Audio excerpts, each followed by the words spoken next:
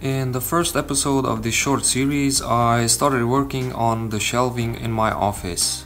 I'm Robert and in this episode I finished mounting the shelves and start working on the workbench. The lower shelf was missing a small piece that would cover the remaining distance between the walls, so in order to mount this piece I had to first mount a small support on the wall.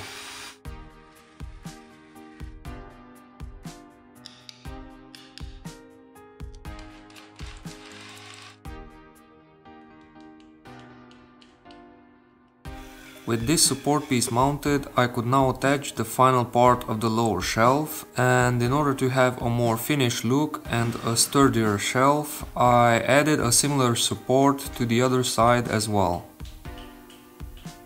To gain some additional storage space, I mounted two small boards that would increase the size of the upper shelves.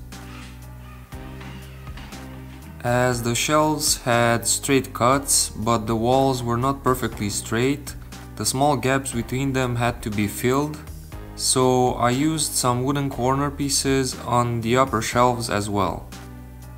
I used an adhesive to glue these pieces to the wall. After completing the shelving, the next step was the assembly of the workbench.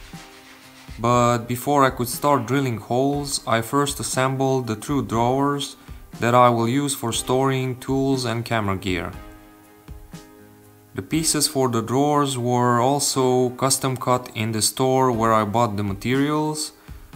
As I don't have a circular saw and because of this I ran into several tolerance and size issues. I tried correcting them using some sandpaper and a handsaw, but this caused some chipping that I easily fixed with a bit of wood glue and some clamps.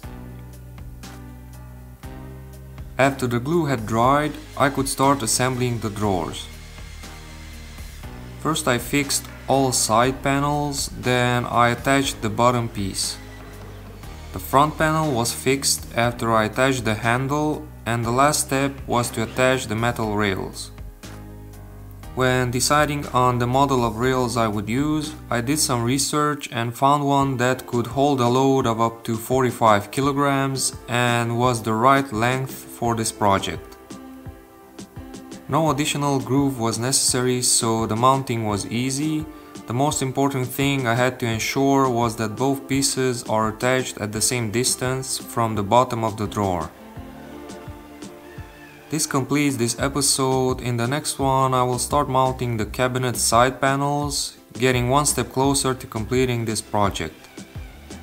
Thanks for watching and if you enjoyed this episode please consider subscribing or giving a thumbs up. Till next time, take care.